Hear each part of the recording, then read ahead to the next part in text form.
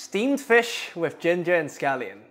It's one of my favorite ways to eat whitefish. The garnish is very simple, but it enhances the flavor of the fish and lets it shine. So, first, we steam the fish. Now, if you have a steamer, you're practically there. All you have to do is add some ginger offcuts and scallion whites to your plate, oil the bottom of your plate, and it's ready for steaming. Very simple. If you don't have a steamer, you can still make this dish. Either you use a casserole.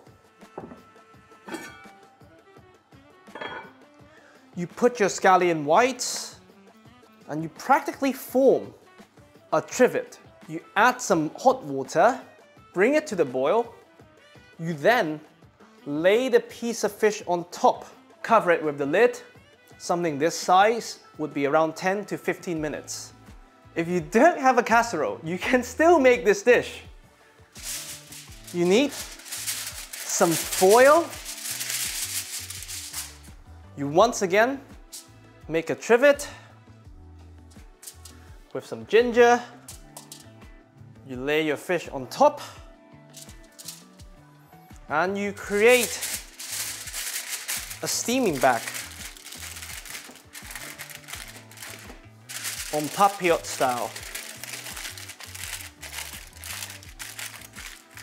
This then goes on a tray into a preheated oven around 180 fan for about 20 to 25 minutes. But today we're gonna use the steamer. So this goes in at 100 degrees Celsius, basically boiling point, and this with the plate will cook in about 15 to 20 minutes. It's best to use a probe so that you want the thickest part of your fish to hit 63 degrees Celsius. Today we're steaming hake, but this method works for most whitefish. I'll see you in 15 minutes.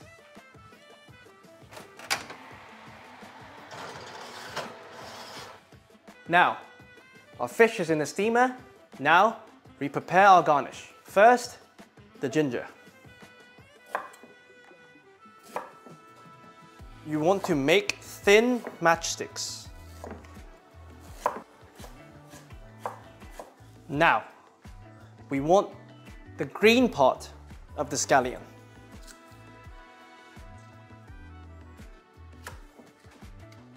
You can save the white part to make a sauce later.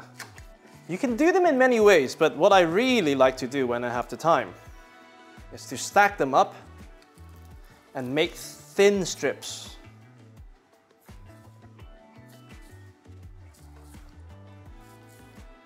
They don't have to be perfect.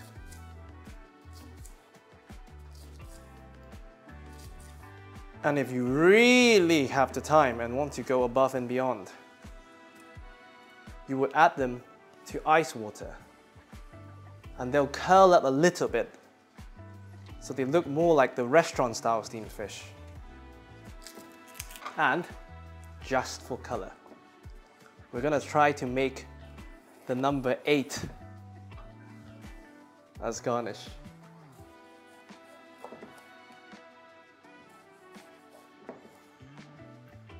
Completely optional, of course. I think that looks like the number eight. Now, our fish is almost ready. At this point, we take a saucepan and we add some vegetable oil. We then take this to the highest setting possible. In this case, I'm using induction 9. Now, we check on our fish. Now the fish is beautifully steamed. At this point, you want to drain off the excess liquid. Well, at least most of it. And you remove the scallion and ginger. If you didn't use a steamer, make sure you heat up your plate before you transfer the fish. Now, we add some ginger and our beautifully curled up scallion as promised. You want to add more than you think you need. Trust me. We sauce the side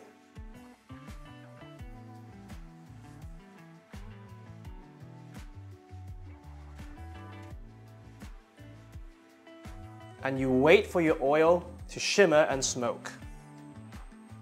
Now, directly on top of the scallion.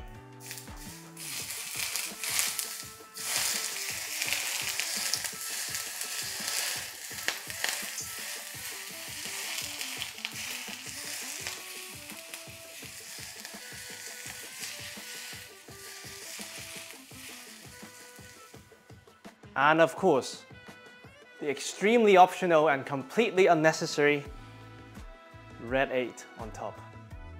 This is steamed fish with ginger and scallion. I really hope you enjoy.